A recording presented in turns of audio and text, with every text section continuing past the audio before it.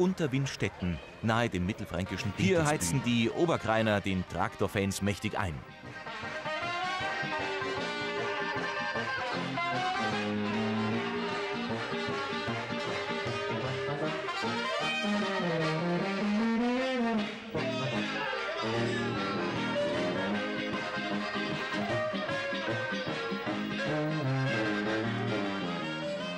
Richtige Traktorfanatiker sind es hier.